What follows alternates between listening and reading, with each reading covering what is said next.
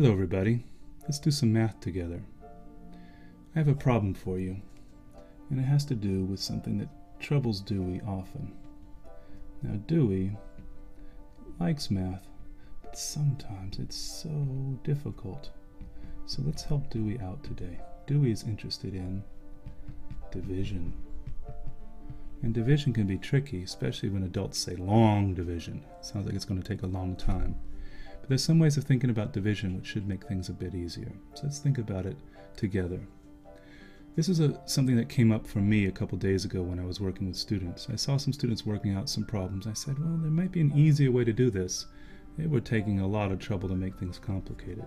So let's take a problem like 24 into 180. Now it looks difficult from the start because you have two digits here and you have a number over here and how many 24s can there be in 180? Well you might start thinking that well 24 goes into 100 a number of times and maybe some 80 number of times you could get a good round number. But maybe there's a way of thinking about this that can simplify it a bit. One thing I notice about 24 and 180 is that they're both even numbers. So 24 and 180 can be halved. If I take the number 24 and I halve it, it becomes 12. If I take the number 180 and I halve it, it becomes 90. And what I'm thinking is that half of this problem, when you have the 24 and you have the 180, this should make the same problem. I'm thinking that these two problems should be the same. Let's see if it works out. But now I can see 12 and 90. What I'm liking about these two numbers, I can I like 90 a bit. I know that 3 goes into 90, but 3 also goes into 12. So instead of halving it, why don't I just divide them both by 3? So 12 divided by 3 is going to give us 4. And 90 divided by 3 is going to give us 30. Those are much nicer numbers. And again, I'm assuming that they're going to be the same problem. Let's look at this problem. I know that 4 goes into 30 seven times because I know 7 times 4 is 28. I know that there are 2 left over. So I know that that 2 is still being divided by the 4. So I'm saying that 4 goes into 37 times with 2 fourths left over. Now that's pretty good, but there's something interesting about this. This 2 fourths is not as nice as I'd like it to be. And when I look at that, I think, ah, wouldn't I rather have a half? How would I get to a half? But if I look at the problem, I can see that these two numbers can be useful. 4 and 30 are even numbers, just like the even numbers I had at the top. What if I halve both of these?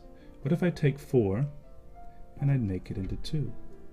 What if I make take the 30 and I make it into 15? I halve it into 15. So I've taken half of 4 to make 2, half of 30 to make 15. And now I've got another problem.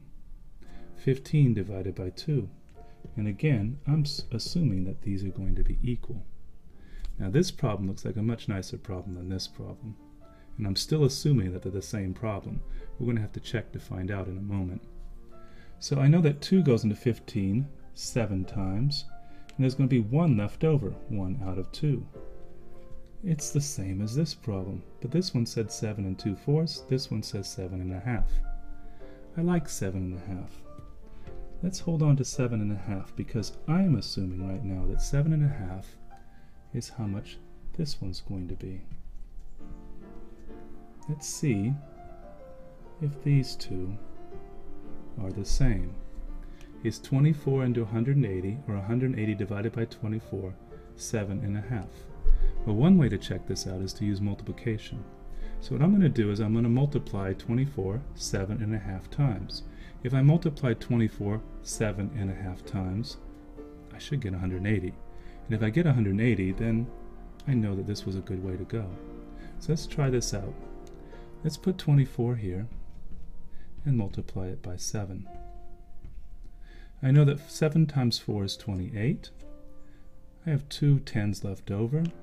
7 times 2 is 14, and 2 more tens is going to give us 16 tens, or 168.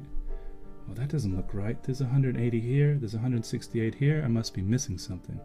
Oh, there's a half of 24 I still need. So what I still need is 24 times a half. Now a half of 24 is 12. So I've got 12 here and 168 there. Now if I take my 168 and I add it to my 12, I get 180, which is the same as this.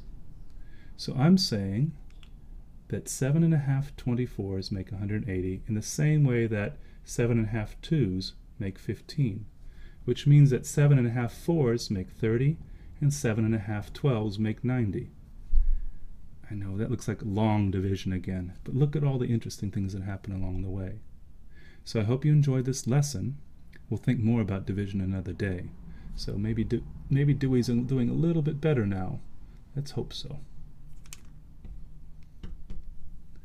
Hope you enjoyed the lesson. Another one soon.